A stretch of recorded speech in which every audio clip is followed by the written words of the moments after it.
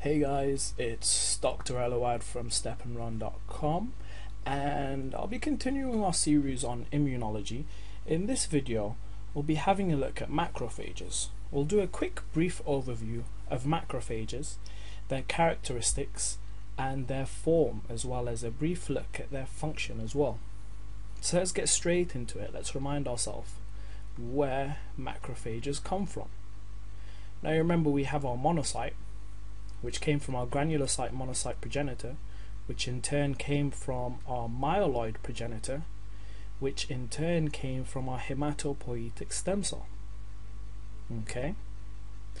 And then once we have this monocyte, it circulates in the blood and moves into the tissue where it is required. And under such circumstances, it either becomes a dendritic cell or it differentiates into our macrophage. Okay, so let's compare and contrast between our monocyte and macrophage, some of the differences between the two and what they share in common as well. And also remember before we move on that these three cells here are part of the antigen presenting cells, specifically or especially macrophages, dendritic cells, and then you also have B cells. These are your antigen presenting cells your macrophages, your dendritic cells, and your B cells. Okay, so let's have a look over here. Remember our monocytes, as we saw in the last video. If you didn't see that last video, it's okay. We'll do a quick comparison between the two. But if you want more of it in detail, I'd probably advise you to go back and have a look at our monocyte video as well. But um, just comparing briefly some of their characteristics your monocytes, remember 50% circulate in the blood, 50% remain as a reservoir in the spleen, and as such, they go on to give us our macrophages. So the monocyte moves into the tissue, it then divides and differentiates to become our macrophage. And it's the macrophage you see in the tissue, that's where it's located. So the monocyte has this thick kidney shaped, horseshoe shaped nucleus and the frosted cytoplasm.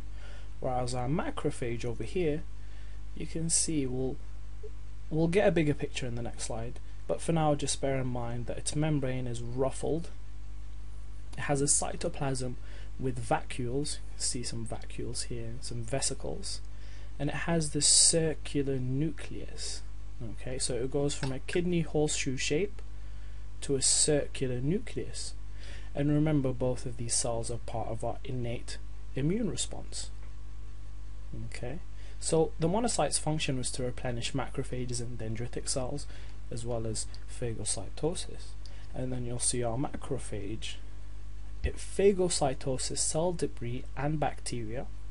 It also secretes cytokines, and we'll have a look at that later on when we talk about our, our macrophage response in inflammation and it also presents antigen. Okay again we'll look at how that it does that later on.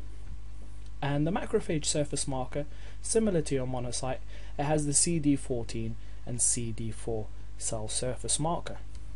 But also bear in mind that our macrophage has a few extra receptors as well.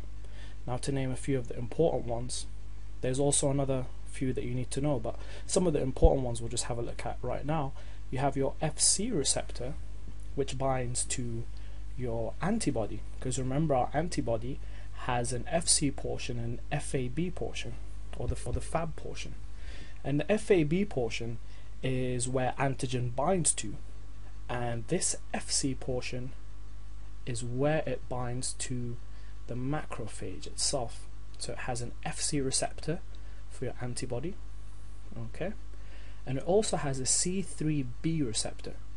Remember C3b is one of your complements and it causes um, opsonization. So when you have bacteria, C3b binds to that bacteria and it opsonizes it. So macrophages come to the area, it binds the C3b to its C3b receptor, which in turn heightens or enhances phagocytosis. Okay. Okay, so here we have a comparative slide between our monocyte on the left, as you can see the kidney horseshoe shape nucleus and your macrophage right here. You can see that dense circular nucleus right there, as well as the ruffled membrane of the cytoplasm and the vesicles and vacuoles. So that's how you would be able to identify your macrophage from its appearance. Because once you see this ruffled membrane, as well as the circular nucleus, the vesicles and the vacuoles, you should know that this is a macrophage. Okay, as well as being able to identify your monocyte on the left. So it should be fairly fairly straightforward if you get a slide or a picture of one of these two two cells you should be able to identify each one. Okay, so um, that's pretty much a brief overview of the macrophage. In the next video we'll have a look at resident macrophages because remember we said that our monocyte gives us macrophages in two different states. Gives us our macrophage either in a physiological state or a pathological state. So in the next video we'll have a look at the physiological state which is going to give us our resident macrophages. Okay guys, I'll see you in the next video. Thanks for watching.